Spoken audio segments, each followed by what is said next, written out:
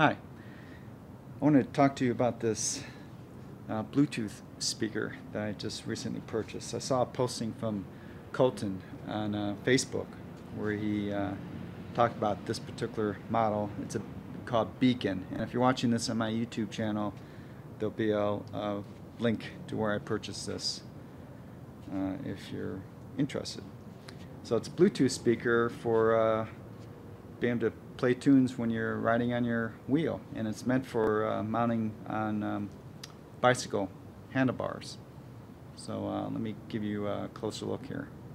Okay like I was saying it's meant to be mounted on a handlebar and it provide they provide a bracket uh, with a clamp but it's really not um, practical I think for mounting using their supplied hardware to mount to your wheel. And I'll show you in a, in a second how I mount it but uh, before I talk about this a little bit more, I'm going to talk about another unit I bought earlier. This is a, a JBL Flip 4 Bluetooth speaker. This produces amazing sound. It, it, by the specs, it produces twice the volume that this one does. Um, and it costs almost three times what this costs. This is a, this was uh, about $35 delivered to my door. Bought it from Amazon. The thing with this is it has speaker elements on the, the ends and as you mount this to your uh, to the handle, that's how I'm mounting it on my wheels, there's a lot of sound going this way, a lot of sound going this way, and not as much sound going up towards your, you know, your head. This one, which is, uh, again, for specs, half the volume the JBL. It has no speakers on ends, no speaker on this side, because again, it's, it's meant to be mounted on a handlebar facing the rider. So the speakers are here, and you get a lot of volume up towards your head. So when this thing is cranked, uh, in terms of quality of what you're actually hearing, it seems just as loud as this, and it's very usable. If you're if you're riding at 20 miles an hour on your wheel, uh, you can hear the tunes pretty good on this. Uh, yeah, so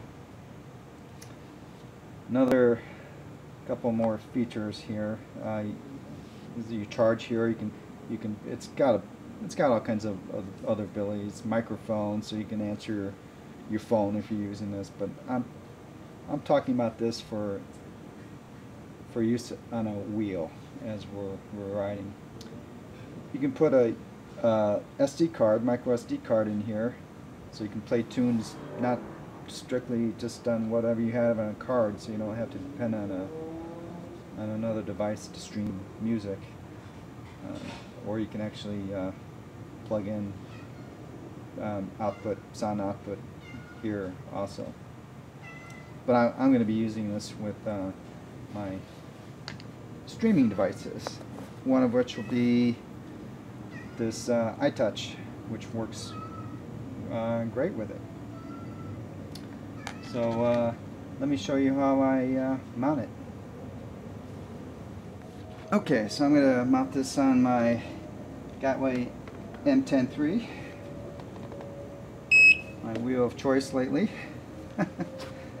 and I'm just using Velcro which works great. And you know, I have multiple wheels, so that's another reason I wouldn't want to come up with a solution that um, you know depends on me having to unscrew things to switch over to another wheel. Uh, you know, this is real quick. And also has advantage, I think, if it if your wheel falls it's uh, going to be easier for it to potentially break away versus if it was uh, screwed onto your wheel somehow. And that's it. Pretty easy. Pretty easy to switch over to uh, other wheels as necessary. Now it has one other really cool feature and that's that's another thing that really attracted me to to buying this to see how it works. And that's this uh, remote control. that you plug into the unit. It's optional, you don't have to be using it. But it, it uh, allows you to control the, the speaker remotely and gives you a remote horn feature, which, as we all know, can be very handy when we're riding up behind people to let them know we're about because I listen to music. I don't listen to music all the time on, the, on my wheels. Um, only if I'm. I don't want to annoy people. So only if I'm on trails or places where there's not many people, where I um, be playing music through, you know, a Bluetooth speaker or my King Song wheel. Uh, but for those other times, and so when you're riding in that those situations, people can hear you coming up behind you. But in other situations where you're not playing music, this is really cool, and I'll, I'll show you what, show you how this works in a in a second. Okay, so I will turn the speaker on. There you go. It syncs up. iTouch is connected.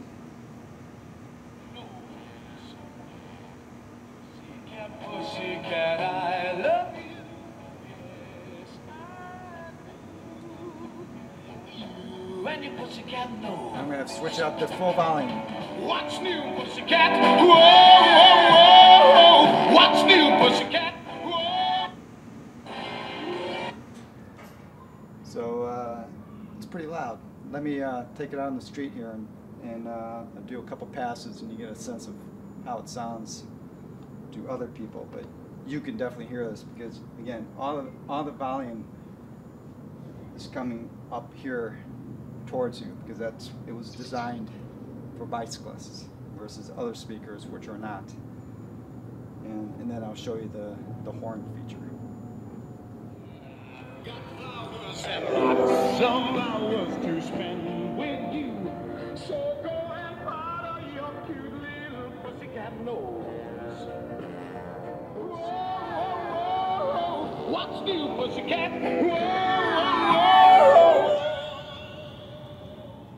Okay, so let me show you the horn feature.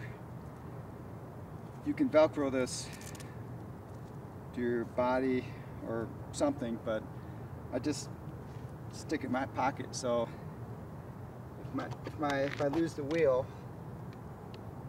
crashes then it's more likely just to uh, pull out.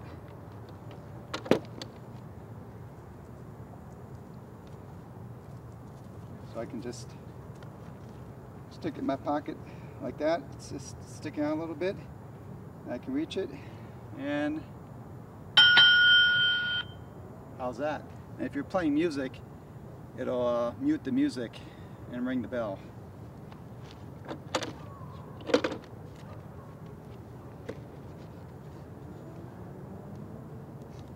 And uh, it's nice and loud, so I'll uh, ring it a few times so you can get a sense of how loud it is from a distance.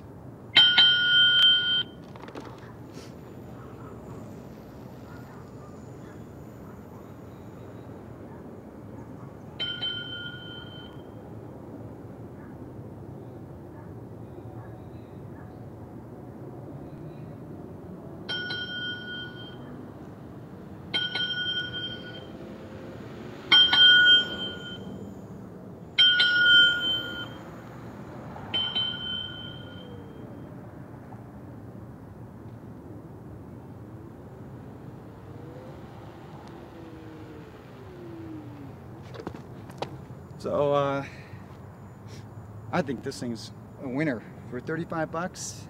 If you want to play, uh, you know, music while you're riding and have the safety feature of, the horn, I think the horn is just fantastic. Uh, it's a great, it's a great deal. All right, guys. Talk to you later.